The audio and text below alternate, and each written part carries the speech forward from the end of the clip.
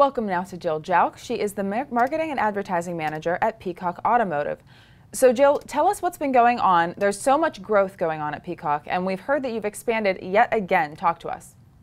Yeah, we uh, just recently purchased a new dealership in Columbia, South Carolina.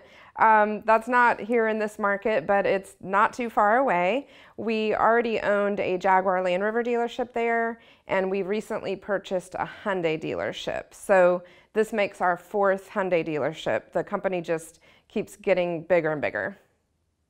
Incredible. Now that's Columbia, and of course we know all about the group that's here in our area. So tell us, how many employees and dealerships do you have at this point, and what other cities are you located in? Well, um, as of the new purchase a couple weeks ago, we're up to about a 705 people, and we are in um, here in Bluffton area. We have some dealerships in Savannah and Brunswick and Columbia, and then we have a Ford dealership in Orlando. So we just keep expanding, which we're really happy with.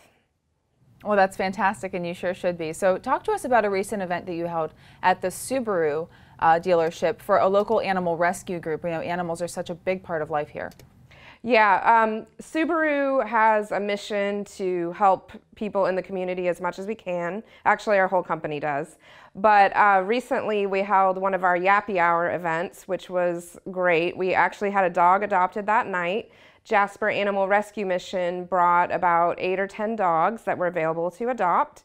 And we had live music and food, and um, people brought their dogs. It's BYOD, which is bring your own dog, which we always enjoy. We um, have a perfect environment for dogs. We also have a lawn right next to the dealership so the dogs can go outside as well. Um, and we have another one coming up on August 23rd that the public is invited to attend. Even if you don't have a dog, you can still attend. So it's just a great way for us to reach out into the community and help animals that are in need.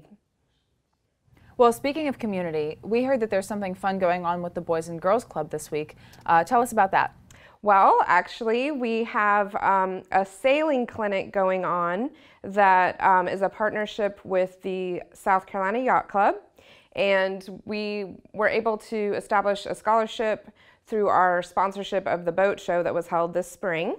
And we are sending about five or six kids from Hilton Head Boys and Girls Club to the sailing camp. So we're super excited about that. I think they're starting uh, right now as we speak. So um, it's a great way to get kids exposed to being out on the water and learn the ropes, pun intended, uh, to learn how to sail. And the Boys and Girls Club is a special, has a special place in our heart. Um, we love helping the youth of our community and we're actively involved with the Bluffton Club and Jasper County and Hilton Head. So it's just a fun way for us to get involved and give back.